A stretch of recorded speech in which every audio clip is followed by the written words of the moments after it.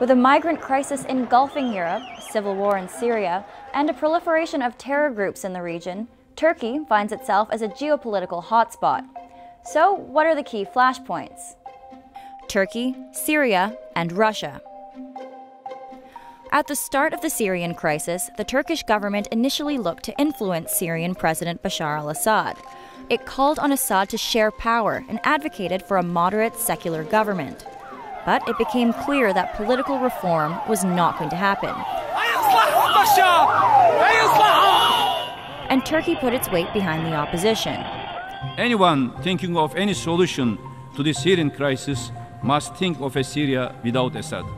Now, Turkey finds itself at odds with Russia after it launched a military campaign in support of Assad.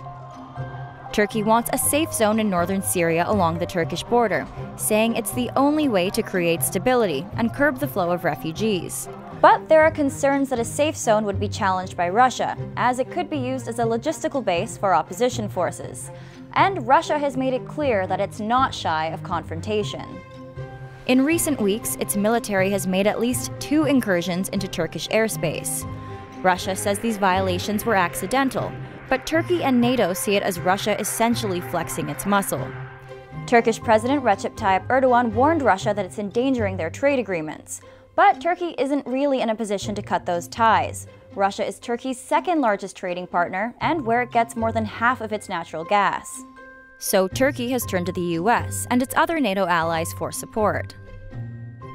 Turkey, the US, and the PKK. Turkey is a key partner for U.S. policy in the Middle East, and counterterrorism cooperation is a principal element of that partnership. And that partnership has become more complicated. Earlier this year, Turkish forces and the PKK reignited a decades long conflict. The PKK is widely listed as a terror group, and Turkey sees it as its top national security threat. But the PKK and its affiliates in Syria have played a critical role in the battle against Islamic State, backed by the US. The US sees Turkey as crucial in the fight against ISIS, and after months of negotiations, Turkey finally joined the US led campaign in July. But Turkish officials are not happy about the American ties with the Syrian Kurds.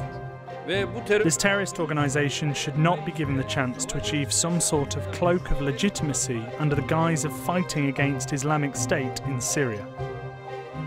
Turkey, the European Union, and the migrant crisis. Many of the migrants arriving in Europe travel through Turkey, and it's home to more than half of Syria's 4 million refugees. Turkish officials have criticized Europe for failing to grasp the magnitude of the refugee crisis until it also destabilized the EU. So far, we have spent almost $8 billion, with international contribution remaining only $417 million. In October, the EU offered Turkey nearly $3.5 billion to help stop the flow of refugees. But Turkey is also using the crisis to push its stalled bid to join the European Union and German Chancellor Angela Merkel agreed to press Brussels to start negotiations on EU criteria.